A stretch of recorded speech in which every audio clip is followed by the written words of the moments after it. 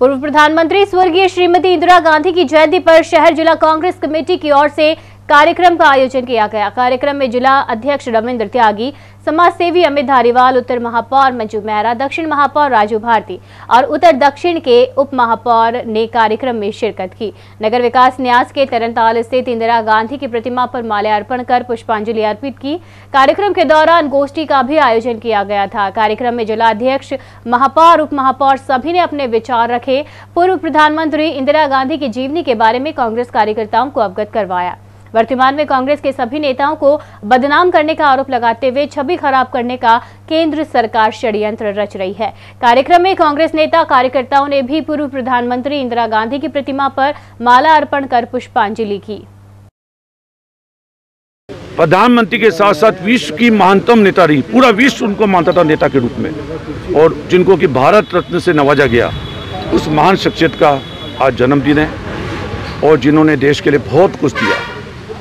देश में जब प्रधानमंत्री बनने के बाद बांग्लादेश को आज़ाद कराया और परमाणु बम का उसका जो विस्फोट करा के पहले शुरुआत उन्होंने करी उसके बाद भी कई उनके ऐसे काम हैं जो शायद कभी भूले नहीं जा, जा सकते। हम महिला प्रधानमंत्री स्वर्गीय श्री इंदिरा गांधी जी की जन्म तिथि पर आज हम सब कांग्रेस के परिवारजन यहाँ एकत्रित हुए हैं और जो इंदिरा जी की एक सोच थी भारत के लिए कि स्वदेशी अपनाओ। जो नारा आज चल रहा है, ये उस समय से ही वो इस पर इम्प्लीमेंट कर रही थी और जब टीवी भारत में आई तो बाहर वाले कह रहे थे, हम कलर टीवी दे देंगे, पर उन्होंने भारत की ही ब्लैक एंड वाइट टीवी को बढ़ावा दिया और भारत में ही बनवाई।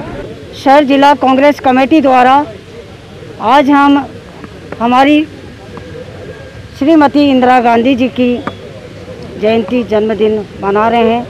इसमें सभी उपस्थित महापौर जी उप महापौर जी, नवनिर्वाचित पार्षद गण और हमारे समाज सेवी अमित हरिवाल जी सभी उपस्थित हैं, उपस्थित है।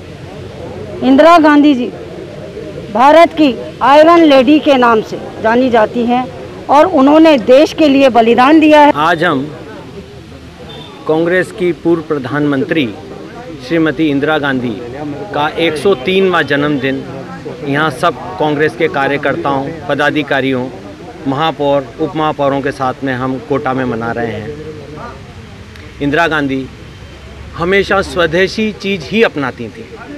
जब वो छोटी थी स्कूल में पढ़ती थी तब से ही वो स्कूल ड्रेस भी खादी की ही पहनती थी और जब तक वो सलामत रहीं हिंदुस्तान में उन्होंने स्वदेशी चीज़ों को ही अपनाया उसको ही प्राथमिकता दी।